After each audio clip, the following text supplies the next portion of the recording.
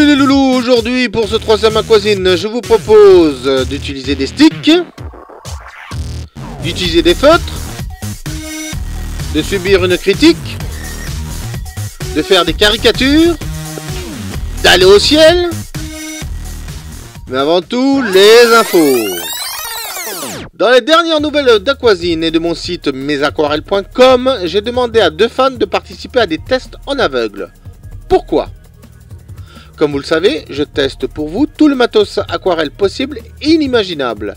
Si avant j'achetais le matériel, à présent certaines grandes entreprises de ce secteur m'envoient leurs produits et surtout jouent le jeu de la critique libre. D'autres en ont rien à foutre et je ferai à présent de même de mon côté à leur sujet. Toutefois, ces mêmes tests sont effectués par moi et uniquement par moi. J'aimerais que d'autres aquarellistes pros me rejoignent dans ma démarche, mais... Et puis en réfléchissant bien, j'avais oublié à qui je m'adressais. Avant tout, à vous. Vous les débutants, les genoux, les un peu moins débutants, les amoureux de l'aquarelle, bref, vous. Alors pour commencer, j'ai demandé à deux fans de tester des papiers aquarelles et de les noter mais aussi de les commenter. Le seul truc, ils ne savent pas ce que c'est comme marque ou référence. Y aura-t-il des surprises? Vous le saurez dans les prochains Aquasines. Grâce à un fan, merci Yannick, Heinemühl a rejoint le petit club des entreprises qui me font confiance pour tester leurs produits. Voici les blocs de papier que je teste actuellement. Au-delà de simplement envoyer leur production, j'ai parlé avec le directeur général qui est un vrai passionné de papier et qui m'en a raconté tous ses petits secrets. Encore merci à. Eh maman, c'est quoi ces bandelettes de papier d'aquarelle? Oui maman, c'est quoi ces bandelettes de papier d'aquarelle? Dorénavant, vous trouverez donc les tests matos dans les infos. Et aujourd'hui, je sors mon pinceau. Trois pinceaux testés et qui continueront à être testés au fil du temps. De Delors René, Aquafine en Sabre Round, taille 4 et 5, un pinceau de poche Raphaël 1793 ou 1793, taille 4. D'abord, je vous prie de noter la première différence qu'hélas je connais trop bien en vêtements, celle entre les tailles françaises et anglaises. Voici la taille 4 anglaise et voici la française. Dans ce futur bicentenaire de Waterloo, je n'irai pas plus loin dans mon commentaire. Autre différence, le prix. 6 euros, que ce soit le 4 ou le 5, et 25 euros. Martre d'un côté, Martre Kolinsky de l'autre. Voyons les points positifs. Pour les René, leur prix compétitif, le bon équilibrage et l'ergonomie du pinceau. Pour le Raphaël, le côté fini et chic du pinceau, l'équilibrage est assez surprenant. D'ailleurs, il ne faut pas le tenir comme on tient ses pinceaux en bois, sinon on le trouve un peu lourd. Bref, il faut un petit temps d'adaptation. Voyons les points négatifs. Pour le Delors René, ce fut dès la réception. Pas de capote. Bon, une petite paille et hop, ça fait l'affaire. Enfin... Ensuite, la fragilité de la pointe. Si en numéro 4 elle se tient assez, en taille 5 elle est plus dure à conserver. Pour le Raphaël, d'abord le prix. Heureusement que ce fut un cadeau, certes, il est beau et bien fait, mais 25 euros en moyenne, c'est lourd. Ensuite, la souplesse de ses poils. Il ressemble au 8404 ou 8404, mais j'ai l'impression qu'il pompe et garde encore plus d'eau que ce dernier. Il garde bien sa pointe, mais attention à la charge d'eau car les accidents arrivent aussi vite qu'une mouche sur un tas de fumier chaud. Quel est le gagnant au final? C'est un peu comme comparer une Dacia à une Ferrari. Chacune ont leur utilité propre. Les Delors René seront parfaits pour la maison et surtout pour débuter avec des martres sans se ruiner. Le Raphaël est plus pour l'expert ou pour le voyageur ne voulant qu'un pinceau dans sa poche. Bref, à vous et votre porte-monnaie de décider.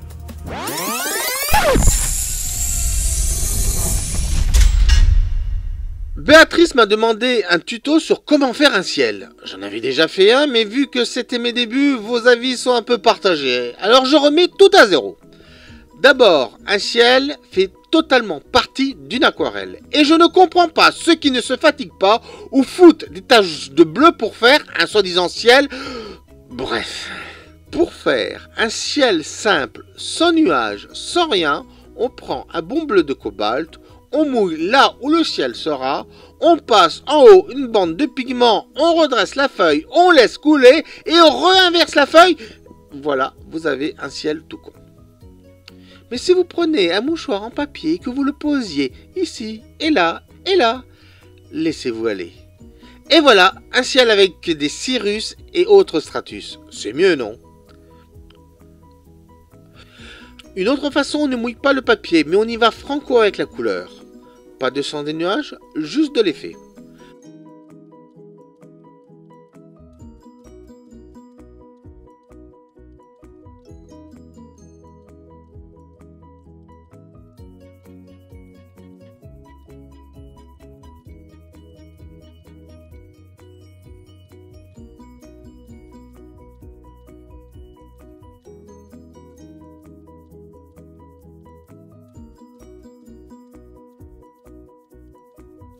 Dans la même lignée, on mouille ou pas le papier, on y va d'un seul coup pour faire un joli ciel nuageux.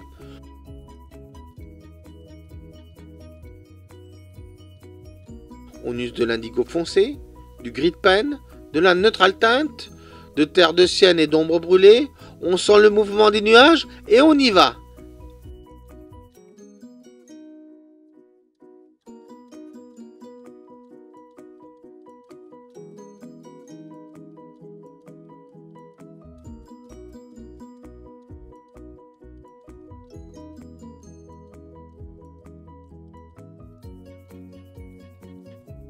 Et ça donne ça au séchage. Et puis, il y a ma façon. D'abord, un lavis en mettant les teintes principales. Je rajoute petit à petit des nuages ici et là.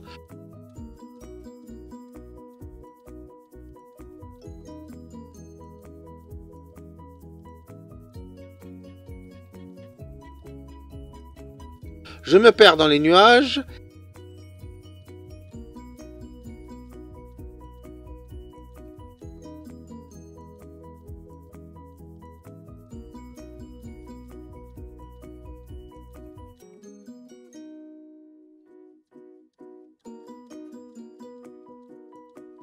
Et à la fin, ça donne ceci. N'essayez pas de reproduire exactement des nuages et autres ciels compliqués. Prenez l'essentiel et laissez-vous aller. Et si vous voulez vraiment apprendre à faire de magnifiques ciels, copiez les aquarelles de Constable, évidemment du Père Turner.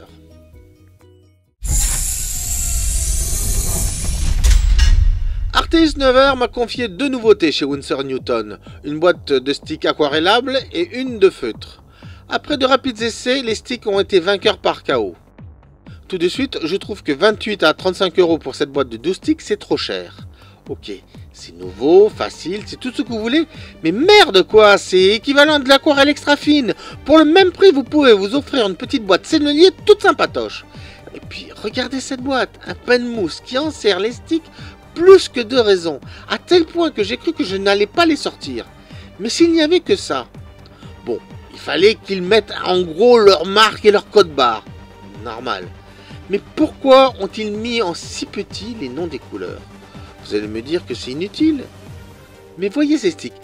Qui peut me dire où se trouve le bleu, le noir ou le vert émeraude? Le designer aurait pu mettre une petite couleur le long du stick, ce qui aurait pu faciliter le repérage. Ben non Je perds quasiment une minute juste pour chercher le nom des couleurs avant chaque utilisation. Bref, ils ont à revoir leur packaging. Je ne parle pas aussi du massacre tant que les sticks ne sont pas secs, et ils mettent du temps à sécher. Passons à leurs produits. Ce n'est pas du pastel ni du crayon, ça ressemblerait plus à du pastel gras. Comme ce sont des carrés genre comptés, il est quasiment impossible de faire des choses fines avec. Si vous avez l'idée de mélanger avec de l'aquarelle tradie, il peut y avoir des problèmes, surtout avec les senneliers. Alors doit-on les jeter pour autant? Ben non, regardez ce que j'ai fait avec, et très rapidement. Alors bien sûr, il y a des traits ici et là. L'eau n'efface pas tout. Mais si vous travaillez avec du bon papier, la majeure partie sera effacée. Le truc est de passer les couleurs sans appuyer. On passe d'abord les plus clairs, puis on passe par-dessus tout aussi légèrement d'autres couleurs en sachant par avance le mélange que ça va faire. Côté passage, je fais des hachures à 45 ou bien je cherche à donner des formes. Je conseille la deuxième solution pour ceux qui ont du mal avec un pinceau. Une fois que c'est fait, c'est comme une révélation en mettant de l'eau. Tout surgit. Alors, est-ce vraiment une nouveauté? Il existe depuis longtemps des crayons aquarellables, mais c'est tellement léger, du moins ce que j'essayais. Là, c'est puissant et coloré. Côté texture, c'est très aquarelle créplastique. Je ne sais comment vous décrire plus exactement. Les couleurs sont saturées et pourtant assez douces. Mais y a-t-il d'autres moyens de s'en servir? Oui, en mouillant son pinceau et en prenant directement la couleur. C'est très utile pour les détails.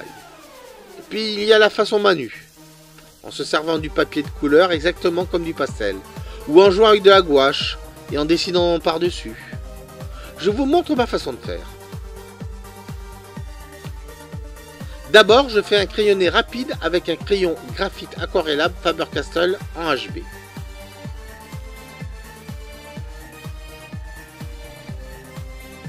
Je passe les couleurs délicatement sans appuyer et en réfléchissant bien au résultat final. Je peux effacer avec une bonne gomme.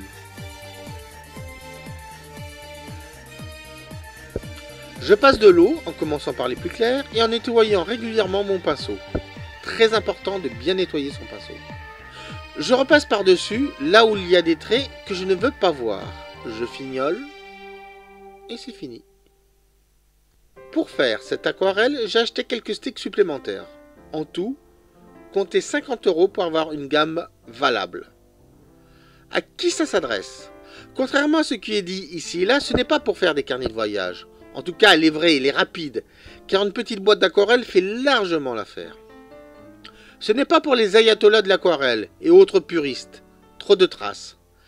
Par contre, pour les étudiants, les élèves d'art et tous ceux qui aiment le mix média, c'est tout bonnement l'idéal. C'est de l'aquarelle texturée, un comble. Certes, mais une nouveauté. En tout cas, avec cette saturation. Si vous êtes intéressé désirez voir le tuto complet, laissez-moi un commentaire ou message sur mon Facebook.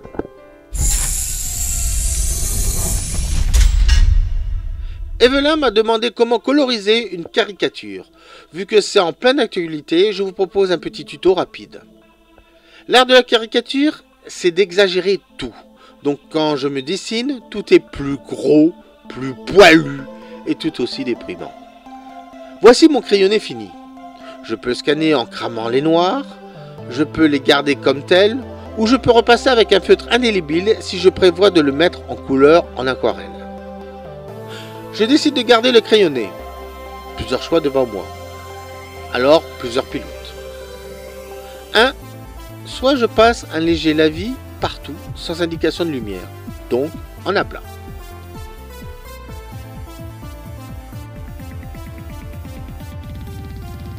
2. Soit je choisis une direction de la lumière, je laisse blanc certaines parties et je colorise l'autre d'un ou plusieurs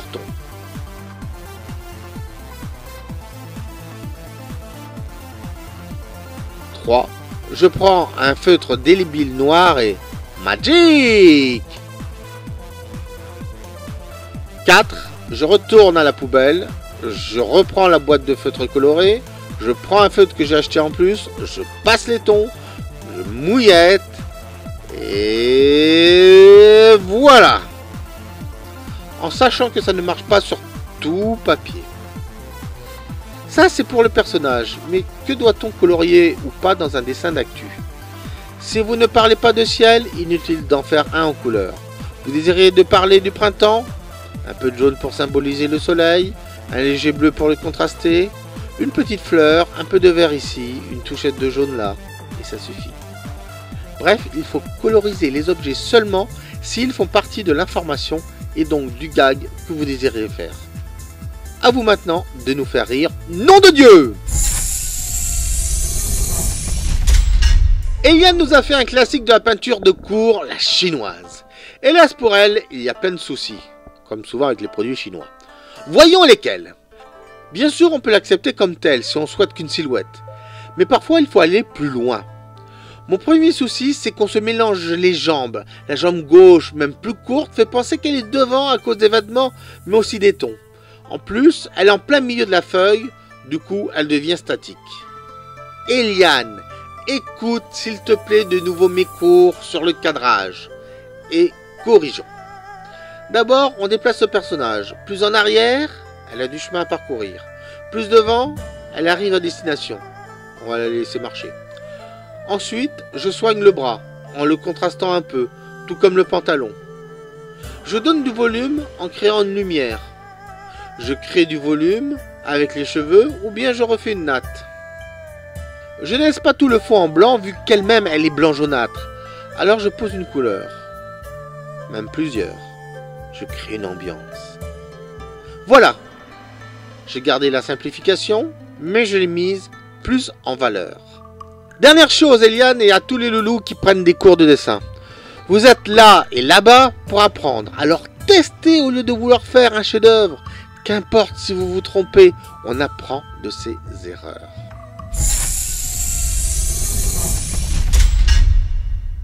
Voilà, Aquasine numéro 3 est fini. Rendez-vous en avril ou début mai pour le prochain. Si vous aimez Aquasine, pensez à celui qui le fait. Donc prenez-lui un album. Si vous êtes riche, une aquarelle. Et si vous n'avez rien à cirer de mes œuvres, mais vous désirez me soutenir, vous pouvez toujours m'envoyer un petit don. Laissez-moi un email et je vous dirai comment faire. N'oubliez pas que sans vos contributions, j'arrêterai immédiatement. A bientôt et pensez à partager.